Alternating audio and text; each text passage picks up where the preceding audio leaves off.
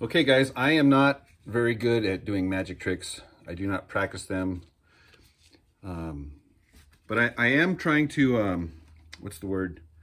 Um, develop this one trick. Okay, so so what I need you to do is I need you to participate and I need you to pick pick a card, any card, dude, pick a card. So you're gonna like mm, randomly pick, I don't care which whichever whichever card you want, I don't care I'm just going to say that you picked this card here. Okay. It's the Jack. Okay, so pay close attention here. I'm going to put it back into the deck somewhere just randomly. Just, I don't, I don't even know. I don't even know. And then I'm not very good at shuffling, but let's just pretend I was good at shuffling and I was like shuffling and blah, blah, blah. And the reason why I'm not shuffling like really good is because it would explode. It would explode the deck. Let me let me try to. let me just try. I'm in the back over here, so so you can actually see me making an an attempt. Ugh, an attempt to shuffle. Okay, so is that good, guys? Is that good enough? Okay, so now cut the deck. Cut the deck again, cut it thinner cut it thicker. It doesn't matter. I don't care. It doesn't matter. It doesn't matter at all. And then, do you remember what that card was? Because I don't. Sorry. But it should be right there. Bam! Okay, good. Okay, so that's pretty good. That's pretty good trick, right? So let me let me cut the deck again. Make sure you, you guys see me cutting the deck. Okay, there, there is no smoke and mirrors here, right? No smoke and mirrors. What should the card be on the top? Hmm? Now, here's here's the magic. If you didn't think that was magic enough, I just, bam, do that. I go, and then I cut it randomly somewhere in the middle. There, I don't care. Guys, maybe I should quit building cigar box guitars and start touring as a magician. Okay, are you guys paying attention? Are you paying attention? But wait, how does he do that? I don't know. You guys paying attention? Pay attention.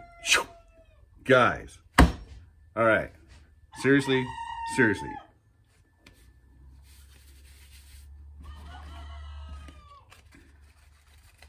You want to do it again? You want to do it again? Do you want to do it again? Just kidding. I ain't got the time. I ain't got the time, and you ain't got the time. I don't want to bore you guys to death. I need to get I need to get to working. Um, need to package this guy up, tune it up, and then package it up. And then I need to package this guy up as well. Um, I'm going to put a little outro at the end of this video that shows me chopping down a tree. You heard that right, guys. Chopping down a tree. So not only does Mr. Puckett build, play, sell, demonstrate three string cigar box guitars, but I'm also multi-talented in many areas, dude, many areas. All right, guys, stick, st stick around for this video. It's going to be funny and informative.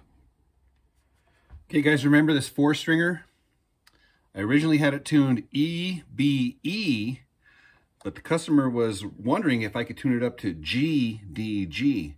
And I says, heck yeah. So now we're tuned G, D, G.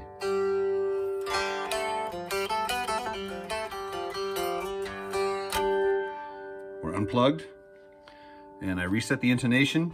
When I reset the intonation, I, I tilt this thing and I move it back and forth to make sure that the harmonics are the same notes as the as the as the fretted note.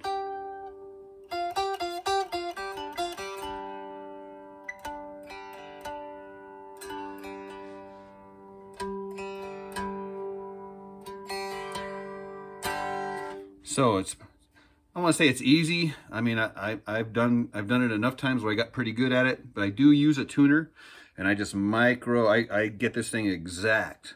Now, if you're going to change strings or change tunings, obviously that's going to affect where your harmonics line up. So it, anytime I change strings, anytime I change the tuning from, in this case here, E up to G, then I have to adjust this thing here ever so slightly to get it to be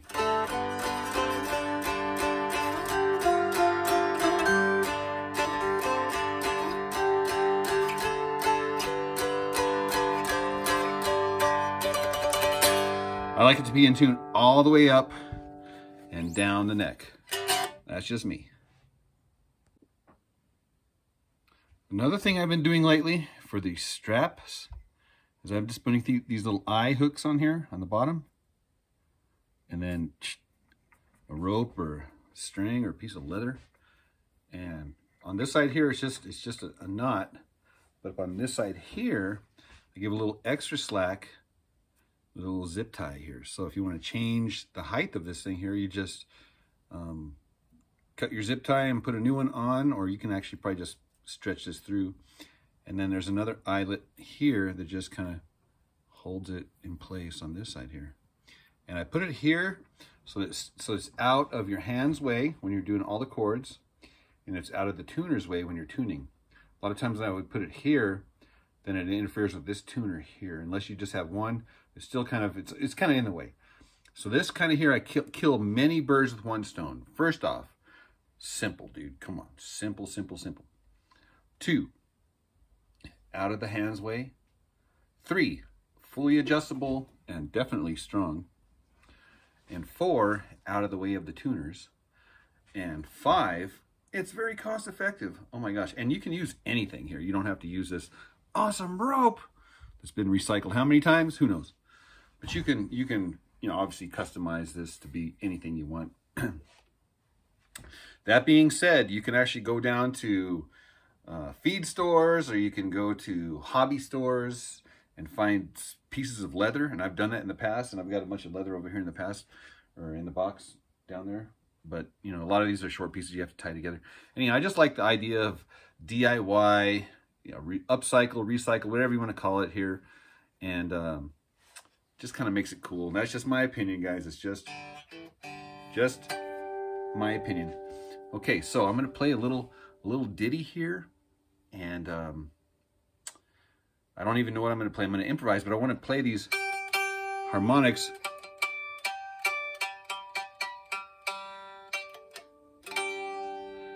because they sound so chimey, in my opinion. Uh,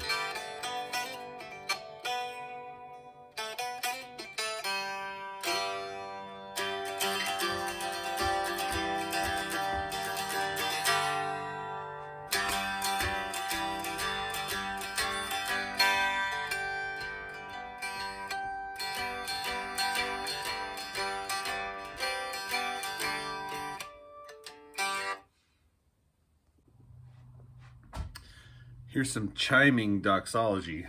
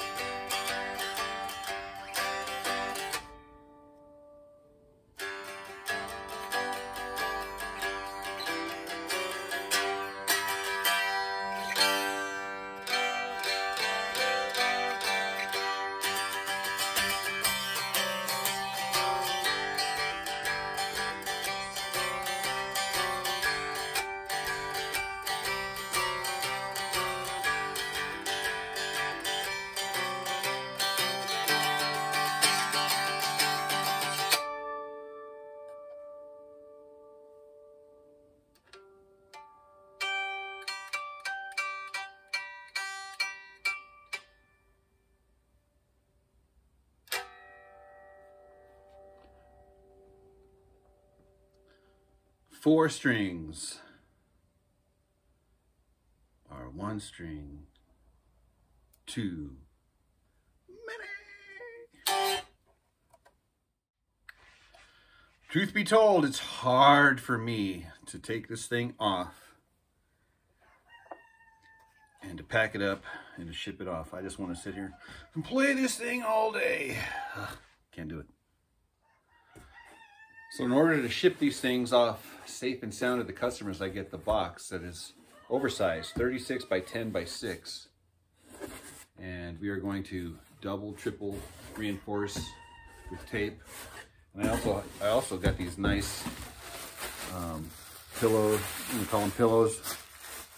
They're uh, nice and fluffy little, these things work great for um, packing in, making everything extra secure and safe. And sometimes, not always, throw in a t-shirt. Yay. And then sometimes, not always, we're to throw in some custom cigar box guitar picks. Mm-hmm. Complete with John 316.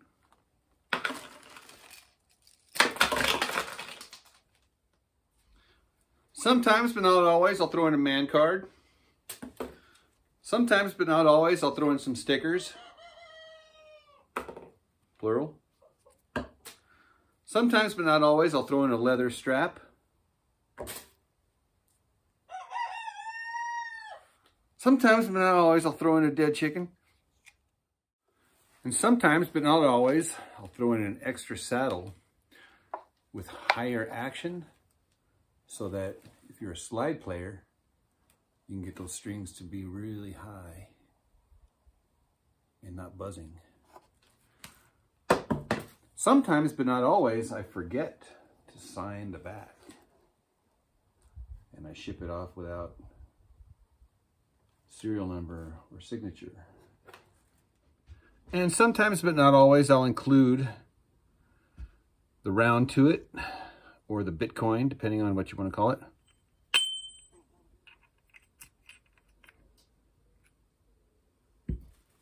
Also got a trash bag. Trash bag.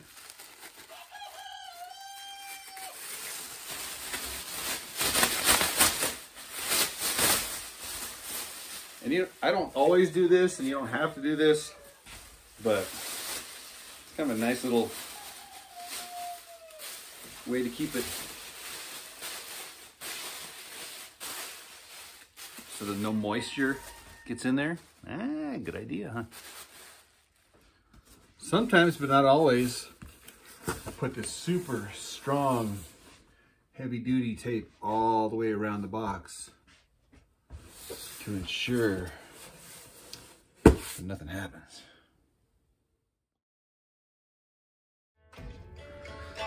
All right, guys, here I am with my buddy Chad. Yay, smile, Chad. Hey. And then Chorus. Hey guys. Chorus is the, uh, what, what do you do, Chorus? You're, you're I'll produce the show. he's the producer. Oh my gosh. Okay, so we are, we're actually doing a podcast, man. This is like a crazy, this is a legit studio, dude. I'm just gonna, real, real quick, dude, I'm just gonna like walk out and just like do a shot real quick. Um, yeah, it's a huge, huge room, auditorium with different sets, crazy stuff, all sorts of equipment, all sorts of crazy equipment. But anyhow, so I'm a long, lifelong friend, my buddy Chad here. He invited me to do it, do a, do his podcast, and so I'm gonna I'm gonna send everybody to Chad's podcast. The link will be right here, guys, right here. So Is can- this live live now? no, no, no, no. Okay. No, it's not live, not now, but it will be live, right? In just a little bit. For goodness sake is the name. And uh, the Common Union, right? Common Yeah. Union on YouTube. So we're gonna go. We're gonna go.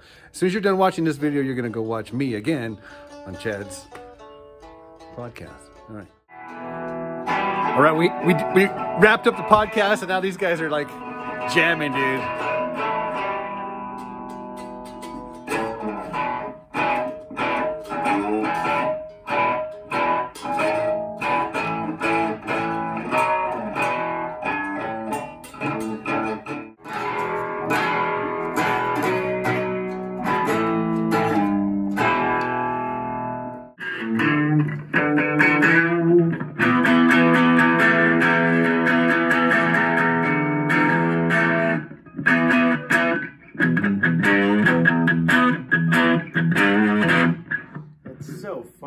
Reality.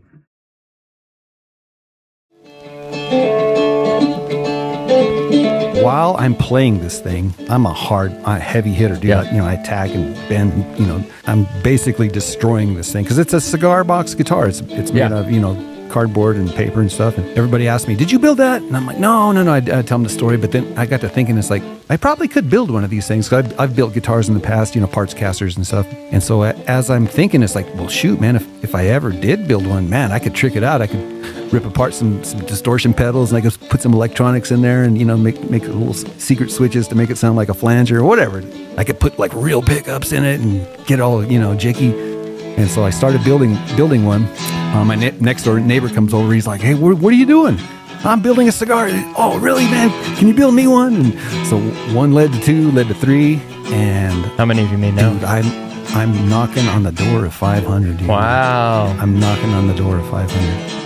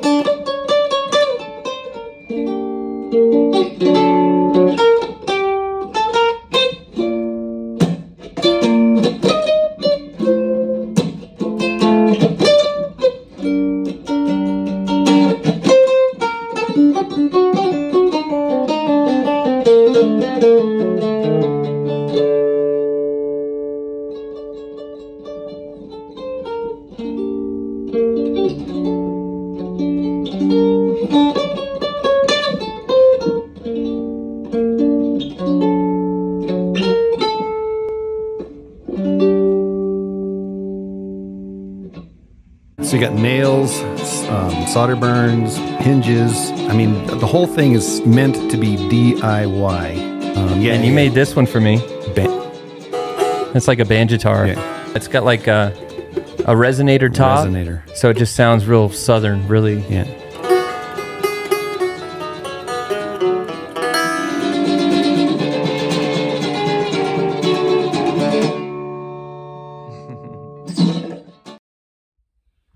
All right, call me crazy. Me and Mojo, we're up here in, up in the mountains. It's beautiful. And I brought my little hatchet, and uh, I'm gonna go chop down that tree right there. That one right there, because it's dead and standing. Let's go take a look at it. There's the truck.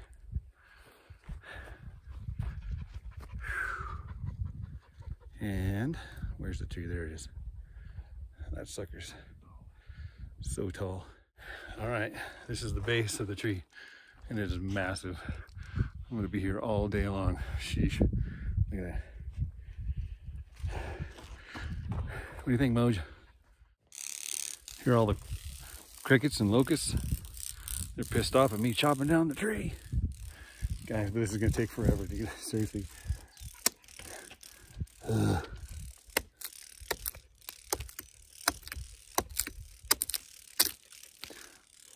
See the lengths I go to to build a cigar box guitar neck. Mojo just wants just wants to play fetch. Hi Mojo. Alright. Where's Mojo? There he is. Okay. Go get him.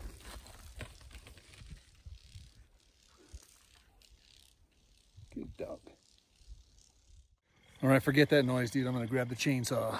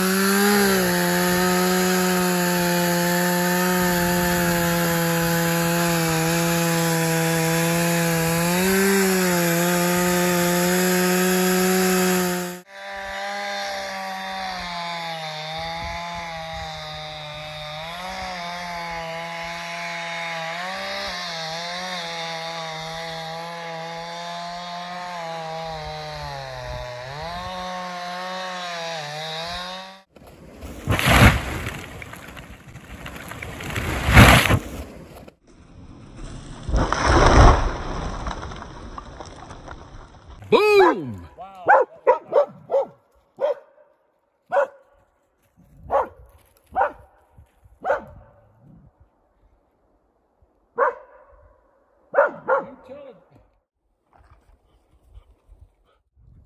Dang, dude. Like even the branches would be. Look at that, perfect, right toward the truck. Yeah. Gosh, look at the hole that that thing made. Dang.